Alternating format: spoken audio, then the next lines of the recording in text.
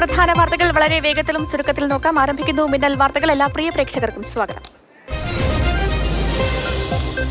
Silver line ഒരു അടഞ്ഞ അധ്യായമാണെന്ന് ബി ജെ പി. സിൽവർ ലൈനിൽ മെട്രോമാൻ മുന്നോട്ട് വച്ച നിർദ്ദേശങ്ങൾ കേന്ദ്ര സർക്കാർ അംഗീകരിക്കുമെന്ന് തോന്നുന്നില്ലെന്ന് കെ സുരേന്ദ്രൻ പറഞ്ഞു. ലോക്സഭയിൽ ചോദ്യം ഉന്നയിക്കുമ്പോൾ വിശദാംശങ്ങൾ തേടുമെന്ന് പറയുന്നത് സ്വാഭാവിക നടപടിയാണെന്നും സുരേന്ദ്രൻ. സിൽവർ ലൈൻ പദ്ധതി കേരളത്തിൽ നടപ്പില്ല. അത് ഇവർ പരിഗണിക്കുമെന്ന് എനിക്ക് തോന്നുന്നില്ല. കാരണം മെട്രോമാൻ മുന്നോട്ട് വെച്ച ആശയം. ഇന്ത്യൻ റെയിൽവേയോ ഡി എം ആർ സിയോ മുൻകൈ എടുത്താൽ മാത്രമേ ഞാൻ അതുമായി സഹകരിക്കുന്നു അദ്ദേഹം പറഞ്ഞിരിക്കുകയാണ്. അപ്പോൾ അതിന് ഇവർ തയ്യാറാവുന്ന ആരെങ്കിലും വിശ്വസിക്കുന്നു? എനിക്ക് തോന്നുന്നില്ല. കേരളിന്റെ പ്രായോഗികത പഠന റിപ്പോർട്ട് റെയിൽവേ ബോർഡിന് സമർപ്പിച്ചു. സിസ്ത്ര തയ്യാറാക്കിയ റിപ്പോർട്ടാണ് സമർപ്പിച്ചത്. റെയിൽവേ ബോർഡ് ആവശ്യപ്പെട്ട വിവിധ കാര്യങ്ങളിലും കേരയിൽ വിശദാംശങ്ങൾ നൽകി. വില മുന്നൂറ് രൂപയായി ഉയർത്തുന്നത് പരിഗണനയിലില്ലെന്ന കേന്ദ്ര സർക്കാർ. റബ്ബറിന്റെ ഇറക്കുമതി നിയന്ത്രിക്കുന്നതിനായി ഡ്യൂട്ടിയിൽ ഇരുപതിൽ നിന്ന് മുപ്പത് ശതമാനമാക്കി ഉയർത്തിയതായും കേന്ദ്ര വാണിജ്യകാര്യ സഹമന്ത്രി അനുപ്രിയ പട്ടേൽ പറഞ്ഞു. തിരുവനന്തപുരത്ത് കെ പി സി സി സംഘടിപ്പിച്ച ഉമ്മൻചാണ്ടി അനുസ്മരണത്തിനിടെ മൈക്ക് തകരാറിലായത് മനഃപൂർവമെന്ന പോലീസ് എഫ്ഐആർ മുഖ്യമന്ത്രി സംസാരിച്ചുകൊണ്ടിരിക്കുകയാണ് മൈക്ക് തകരാറിലായത്. ഹൌളിംഗ് ഉണ്ടായതോടെ മുഖ്യമന്ത്രിയുടെ പ്രസംഗം തടസ്സപ്പെട്ടിരുന്നു. പൊതുസുരക്ഷയെ ബാധിക്കും വിധം മൈക്കിൽ മനഃപൂർവം ഹൌളിംഗ് വരുത്തിയെന്നും എഫ്ഐആറിലുണ്ട് പോലീസ് സ്വമേധയാ എടുത്ത കേസാണിത്. മൈക്ക് ഓപ്പറേറ്റർക്കെതിരെ കേസെടുത്ത സംഭവത്തിൽ തുടർ നടപടി വേണ്ടെന്ന് മുഖ്യമന്ത്രിയുടെ നിർദ്ദേശം. സുരക്ഷാ പരിശോധന മാത്രം മതിയെന്നും മുഖ്യമന്ത്രി പിണറായി വിജയൻ നിർദ്ദേശം നൽകി. മദ്യനയത്തിന് മന്ത്രിസഭ അംഗീകാരം നൽകി. ഇന്ത്യൻ നിർമ്മിത വിദേശ മദ്യത്തിന്റെ കയറ്റുമതി പ്രോത്സാഹിപ്പിക്കാനാണ് തീരുമാനം. ഇതിനായി ചട്ടങ്ങളിൽ ആവശ്യമായ ക്രമീകരണം നടത്തും. വിദേശ സഞ്ചാരികൾ കൂടുതലെത്തുന്ന റെസ്റ്റോറന്റുകളിൽ ടൂറിസം സീസണിൽ ബിയർ വൈൻ എന്നിവ വിതരണം ചെയ്യാൻ പ്രത്യേക ലൈസൻസ് അനുവദിക്കുമെന്നും മന്ത്രി പറഞ്ഞു. വർദ്ധിപ്പിക്കുക വഴി കയറ്റുമതി തൊഴിലവസരങ്ങൾ എന്നതാണ് പ്രധാനമായിട്ടും ലക്ഷ്യമിടുന്നത്. മറ്റൊരു പ്രധാനപ്പെട്ട കാര്യം നയത്തിൽ നിർദ്ദേശിക്കുന്നത് വിദേശ വിനോദസഞ്ചാരികൾ കൂടുതലായിട്ട് എത്തുന്ന സ്ഥലങ്ങളിൽ പ്രവർത്തിക്കുന്ന റെസ്റ്റോറന്റുകൾക്ക് ടൂറിസം സീസണിൽ മാത്രം ബിയർ വൈൻ എന്നിവ വിൽപ്പന നടത്താൻ പ്രത്യേക ലൈസൻസ് അനുവദിക്കും. കേരള ടോഡി എന്ന പേരിൽ കള്ളിനെ ബ്രാൻഡ് ചെയ്യാൻ മദ്യനയത്തിൽ തീരുമാനം. കള്ള് ഷാപ്പുകൾക്ക് ഒരേ ഡിസൈൻ കൊണ്ടുവരുമെന്നും എക്സൈസ് മന്ത്രി എം രാജേഷ് പറഞ്ഞു. K S R T C ശമ്പള വിതരണം പ്രതിസന്ധി പരിഹരിക്കാൻ സർക്കാർ മുപ്പത് കോടി അനുവദിച്ചു എന്ന K S R T C M D. നൂറ്റി മുപ്പത് കോടി രൂപ വേണമെന്ന കെ എസ് ആർ ടി സിയുടെ ആവശ്യം സർക്കാരിന്റെ പരിഗണനയിലാണ്. K S R T C നവീകരണ പദ്ധതിയുടെ വിശദാംശങ്ങൾ അടുത്ത മാസം പതിനഞ്ചിന് മുൻപ് ഹൈക്കോടതിയെ അറിയിക്കാൻ സർക്കാരിന് നിർദ്ദേശം. മലബാർ മേഖലയിലെ പ്ലസ് വൺ പ്രവേശന പ്രതിസന്ധി പരിഹരിക്കാൻ സർക്കാരിന്റെ ഇടപെടൽ. താൽക്കാലികമായി തൊണ്ണൂറ്റിയേഴ് ബാച്ചുകൾ ആരംഭിക്കും. മലപ്പുറത്ത് മാത്രം അൻപത്തിരണ്ട് പുതിയ ബാച്ചുകൾ വരും. കോഴിക്കോട് പതിനൊന്ന് വയനാട് പാലക്കാട് ജില്ലകളിലായി നാല് വീതം ബാച്ചുകളും ആരംഭിക്കുമെന്ന് വിദ്യാഭ്യാസ മന്ത്രി വി ശിവൻകുട്ടി പറഞ്ഞു. മലബാർ മേഖലയിലെ പാലക്കാട് മുതൽ കാസർഗോഡ് വരെയുള്ള ജില്ലകളിലാകെ തൊണ്ണൂറ്റി ഏഴ് ബാച്ചുകൾ താൽക്കാലികമായി അനുവദിക്കാൻ തീരുമാനിച്ചിട്ടുണ്ട്. പാലക്കാട് നാല് കോഴിക്കോട് പതിനൊന്ന് മലപ്പുറം അൻപത്തി മൂന്ന് വയനാട് നാല്. കണ്ണൂർ പത്ത്. കാസർഗോഡ് പതിനഞ്ച്.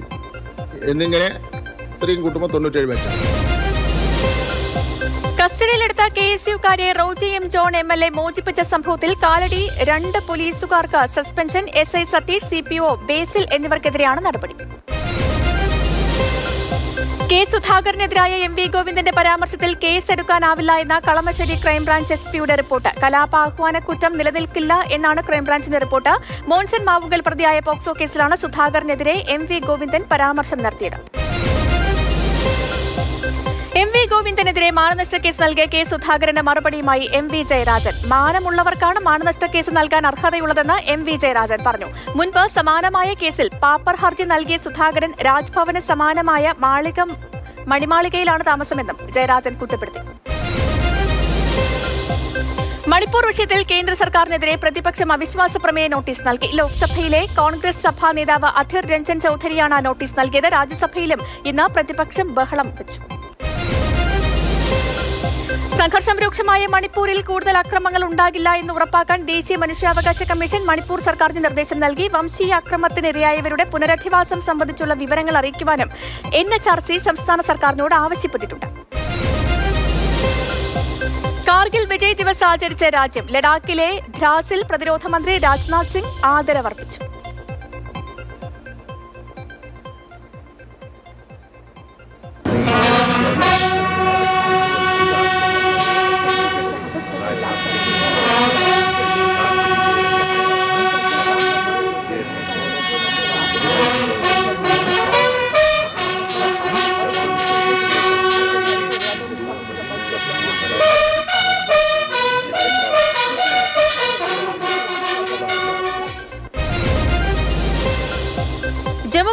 കാശ്മീരിന്റെ അഭിമാനവും അന്തസ്സും സംരക്ഷിക്കാൻ അതിർത്തി കടക്കാനും ഇന്ത്യ തയ്യാറാണെന്ന് പ്രതിരോധ മന്ത്രി രാജ്നാഥ് സിംഗ് പറഞ്ഞു.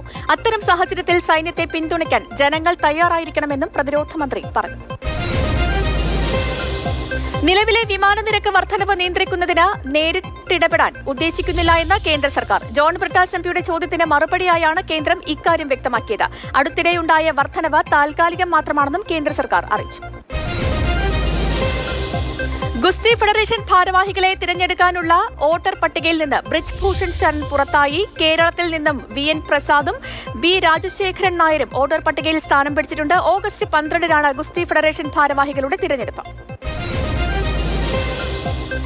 എൻഫോഴ്സ്മെന്റ് ഡയറക്ടറുടെ കാലാവധിയിലെ സുപ്രീം കോടതി വിധി പരിഷ്കരിക്കണമെന്നാവശ്യപ്പെട്ട് സർക്കാർ സുപ്രീം കോടതിയെ സമീപിച്ചു. ഹർജി നാളെ പരിഗണിക്കും. ഈ മാസം മുപ്പത്തിയൊന്ന് വരെ മാത്രമാണ് സഞ്ജയ് മിശ്രയ്ക്ക് ഇ ഡി ഡയറക്ടർ സ്ഥാനത്ത് തുടരാൻ അനുമതി നൽകിയിരിക്കുന്നത്. ഇതിനിടയിലാണ് സർക്കാർ നീക്കം. ബംഗളൂരു വിമാനത്താവളത്തിൽ രണ്ട് കോടി രൂപയുടെ സ്വർണം പിടികൂടി ബെൽറ്റ് രൂപത്തിൽ ധരിച്ചാണ് സിംഗപ്പൂരിൽ നിന്നും സ്വർണം കടത്തിയത്. രണ്ട് തമിഴ്നാട് സ്വദേശികളെ കസ്റ്റംസ് പിടികൂടി.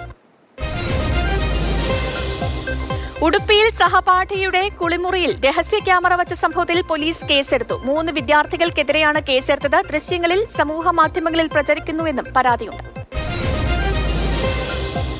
ഫുജൈറയിൽ കടലിൽ കുളിക്കുന്നതിനിടെ മലയാളി യുവാവ് അപകടത്തിൽ മരിച്ചു. മലപ്പുറം പെരുമ്പടവ് സ്വദേശി നൌഷാദാണ് മരിച്ചത്. ബീച്ച് നവീകരണത്തിനിറക്കിയ കല്ലുകളിൽ തലയിടിച്ചായിരുന്നു അപകടം.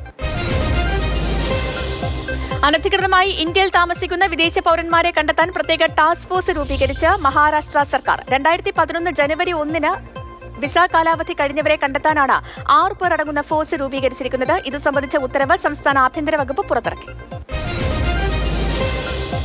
മണിപ്പൂർ സ്വദേശിയായ യുവതിയെ പീഡിപ്പിച്ച ജവാനെ സസ്പെൻഡ് ചെയ്ത ബി എസ് എഫ്. വെസ്റ്റ് ഇംഫാലിലെ ഗ്രാമീണ മേഖലയിലെ വ്യാപാര കേന്ദ്രത്തിലെത്തിയ യുവതിയെ ഇയാൾ പീഡിപ്പിക്കുകയായിരുന്നു.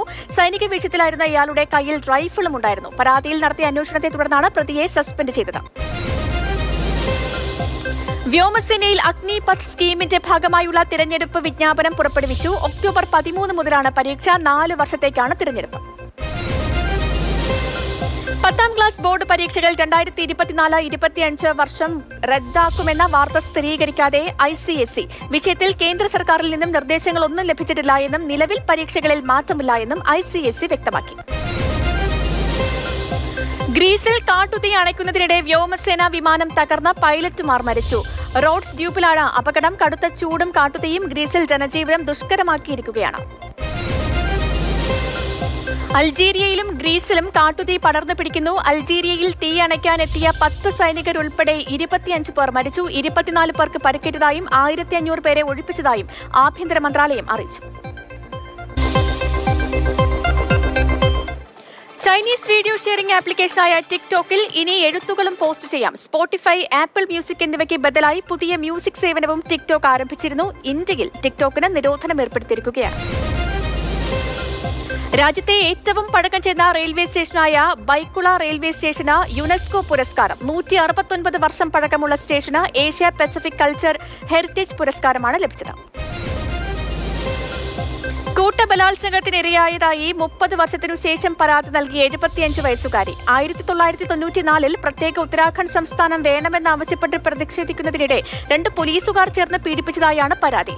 സംഭവത്തിൽ കേസെടുത്ത പോലീസ് പ്രതികളെ കോടതിയിൽ ഹാജരാക്കി.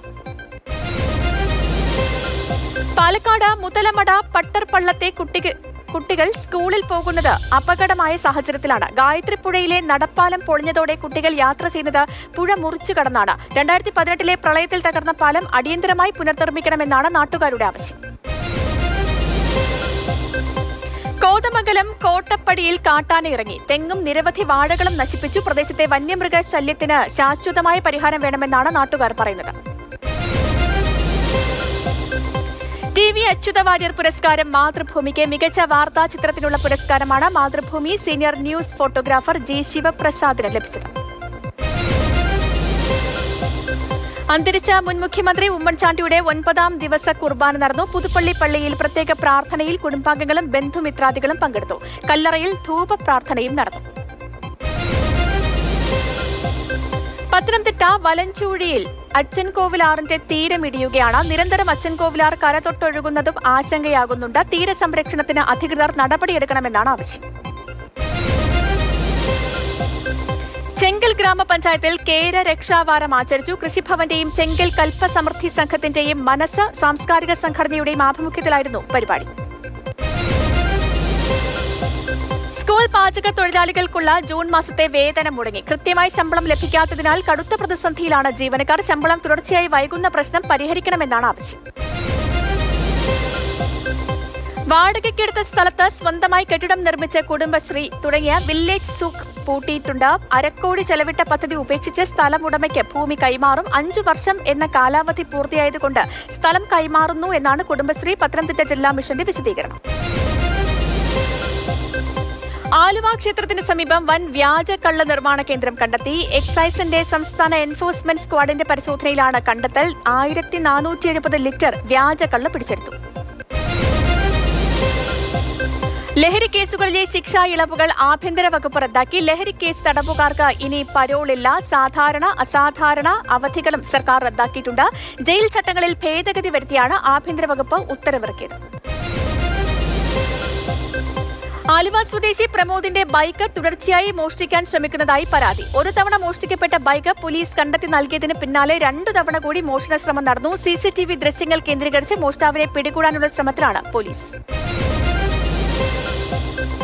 ചെന്നൈ എഗ്മോർ ഗുരുവായൂർ എക്സ്പ്രസിന്റെ യാത്രാ സമയത്തിൽ മാറ്റം ചെന്നൈയിൽ നിന്നും നാൽപ്പത്തിയഞ്ച് മിനിറ്റ് വൈകി രാവിലെ ഒൻപത് നാൽപ്പത്തിയഞ്ചിന് പുറപ്പെടുന്ന തീവണ്ടി ഗുരുവായൂരിൽ നിലവിലുള്ളതിനേക്കാൾ ഒരു മണിക്കൂർ വൈകിയേ എത്തുകയുള്ളൂ. രാത്രി പതിനൊന്ന് ഇരുപതിന് തിരുവനന്തപുരത്ത് എത്തേണ്ടിയിരുന്ന ട്രെയിൻ പന്ത്രണ്ട് ഇരുപതിനാവും എത്തുക. ഖനനത്തിന്റെ ആഘാതം മറയ്ക്കാൻ തൊടുപുഴ ആലങ്കോട്ടെ പാറമടയിൽ പെയിന്റ് അടിച്ചതിൽ നടപടി. പാറമടയുടെ പ്രവർത്തനം നിർത്തിവയ്ക്കാൻ ജിയോളജി വകുപ്പ് നോട്ടീസ് നൽകി. പാറമട വിശദമായി അളക്കാനും തീരുമാനമുണ്ട്. മാതൃഭൂമി ന്യൂസ് വാർത്തയ്ക്ക് പിന്നാലെയാണ് നടപടി. വയനാട് മീനങ്ങാടിയിൽ ഒരാളെ പുഴയിൽ കാണാതായി. അജ്ഞാത ജീവിയുടെ ആക്രമണമുണ്ടായോ എന്ന് സംശയിക്കുന്നുണ്ട് പ്രദേശത്ത്. വലിച്ചിഴച്ചതിന്റെ അടയാളങ്ങളുമുണ്ട്. മലപ്പുറം കരുളായിയിൽ കാട്ടാനയുടെ ആക്രമണത്തിൽ പോലീസുകാരന് പരിക്കേറ്റു. നെടുങ്കയം മാഞ്ചേരിക്കാട്ടിലാണ് സംഭവം. പരിക്കേറ്റ പോലീസുകാരനെ ആശുപത്രിയിൽ പ്രവേശിപ്പിച്ചു. മൃഗശാലയിൽ നിന്നും മുൻപ് ചാടിപ്പോയ ഹനുമാൻ കുരങ്ങിന് സുരക്ഷിതമായ കൂടൊരുക്കി മൃഗശാല അധികൃതർ. തുറന്ന കൂട്ടിന് സമീപത്തുള്ള മരങ്ങളിലെ വലിയ ചില്ലകൾ മുറിച്ചു മാറ്റി. കോട്ടയം പനച്ചിക്കാട് ക്ഷേത്രത്തിന്റെ ഗോപുരത്തിലേക്ക് പാചകവാതക സിലിണ്ടർ കയറ്റിവന്ന ലോറി ഇടിച്ചു കയറി. വാഹനത്തിന്റെ ബ്രേക്ക് നഷ്ടമായതിനെ തുടർന്ന് നിയന്ത്രണം തെറ്റിയായിരുന്നു. അപകടം അപകടത്തിൽ ആർക്കും പരുക്കുകളില്ല. കാഞ്ഞങ്ങാട്ടെ വിദ്വേഷ മുദ്രാവാക്യം വിളിയിൽ കേസ്. മതവികാരം വ്രണപ്പെടുത്തൽ അന്യായമായി സംഘം ചേരൽ തുടങ്ങി ജാമ്യമില്ലാ വകുപ്പുകൾ പ്രകാരമാണ് കേസ്. ബി കാഞ്ഞങ്ങാട് മണ്ഡലം പ്രസിഡന്റ് പ്രശാന്തിന്റെ പരാതിയിൽ ഹോസ്ദുർഗ് പോലീസാണ് കേസെടുത്തത്. രാഹുൽ ഗാന്ധി എം ടി വാസുദേവൻ നായരുമായി കൂടിക്കാഴ്ച നടത്തി. കോട്ടയ്ക്കൽ ആശുപത്രിയിൽ വച്ചായിരുന്നു കൂടിക്കാഴ്ച. രാഹുൽ ഗാന്ധിക്ക് എം ടി സ്നേഹസമാനമായി ഒരു പേന നൽകി. A general secretary K C വേണുഗോപാലും Rahul ഗാന്ധിക്കൊപ്പം ഉണ്ടായിരുന്നു.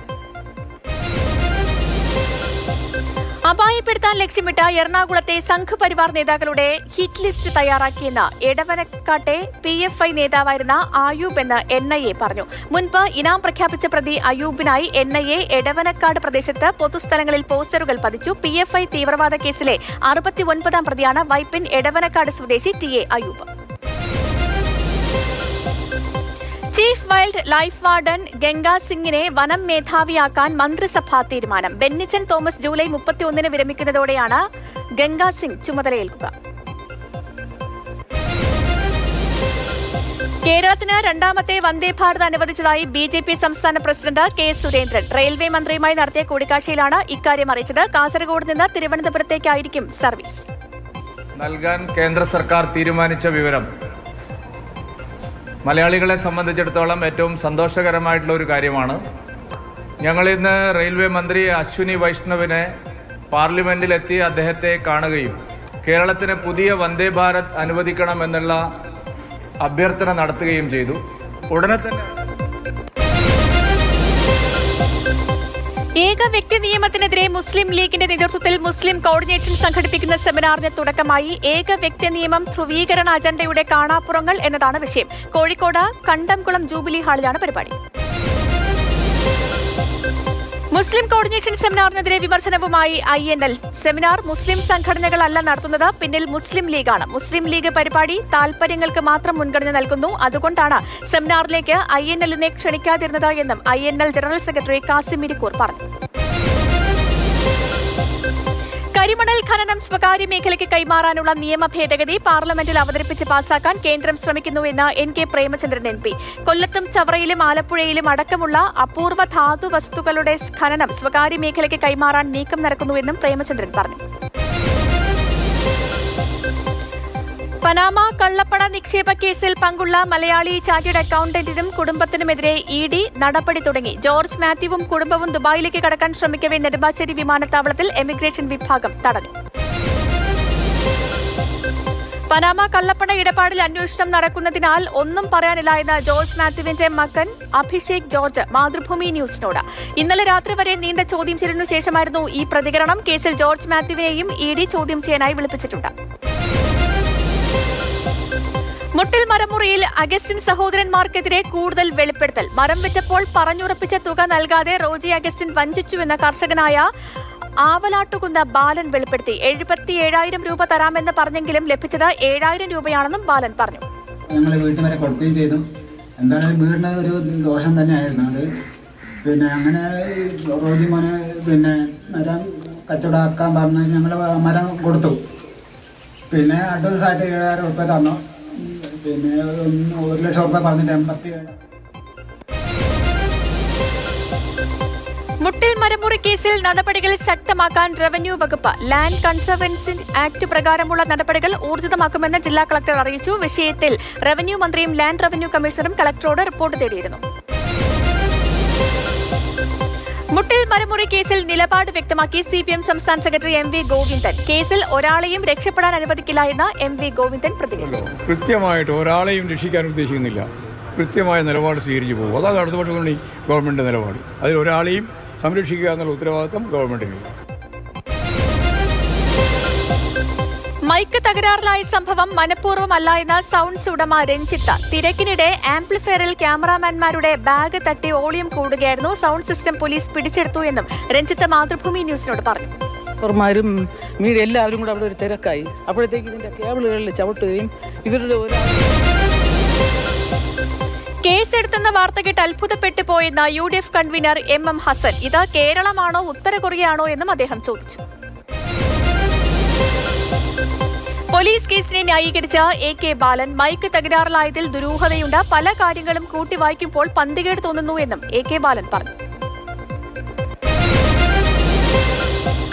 നൂറ് കിലോ കഞ്ചാവ് പിടിച്ചു. പത്തനംതിട്ടയിൽ വൻ കഞ്ചാവ് വേട്ട.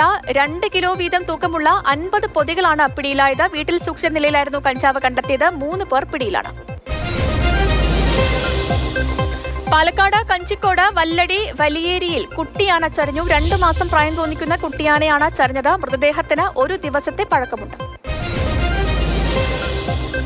തിരുവനന്തപുരം പാറശാലയിൽ പോലീസിന്റെ പെട്രോളിംഗ് ജീപ്പ് നാലംഗ സംഘം കടത്തിക്കൊണ്ടുപോയി. പരശുവയ്ക്കലിൽ പെട്രോളിംഗ് നടത്താനായി പുറത്തിറങ്ങിയപ്പോഴാണ് ജീപ്പ് സംഘം കട കടന്നത്. എന്നാൽ പോലീസും നാട്ടുകാരും ഇവരെ പിന്തുടർന്നതോടെ പോലീസ് ജീപ്പ് ഉപേക്ഷിച്ച് ഇറങ്ങിപ്പോയി. ജീപ്പ് ഉപേക്ഷിച്ച് ഗോകുൽ എന്നയാളിനെ പോലീസ് പിടികൂടി. സംസ്ഥാന വ്യാപകമായി ഹോട്ടലുകളിൽ ഭക്ഷ്യസുരക്ഷാ വകുപ്പിന്റെ പരിശോധന ജീവനക്കാരുടെ ഹെൽത്ത് കാർഡ് പാഴ്സലിലെ ലേബൽ വെള്ളത്തിന്റെ ഗുണനിലവാരം ലൈസൻസ് പ്രദർശിപ്പിച്ചിട്ടുണ്ടോ തുടങ്ങിയവയാണ് പരിശോധിക്കുന്നത്. പത്ത് കോടി മൺസൂൺ ബെമ്പർ നറുക്കെടുപ്പ്. ടിക്കറ്റ് വിറ്റത് പാലക്കാട് ഏജൻസി വഴി എം ബി രണ്ട് പൂജ്യം പൂജ്യം രണ്ട് ആറ് ഒന്ന് എന്ന നമ്പറിനാണ് ഒന്നാം സമ്മാനം പാലക്കാട്ടെ ഏജന്റ് കാജ ഹുസൈൻ ലോട്ടറി കുറ്റിപ്പുറത്ത് ചെറുകിട ലോട്ടറി കച്ചവടം നടത്തുന്ന മണിക്കാണ് വിറ്റത്. പത്ത് കോടി രൂപയാണ് ഒന്നാം സമ്മാനം.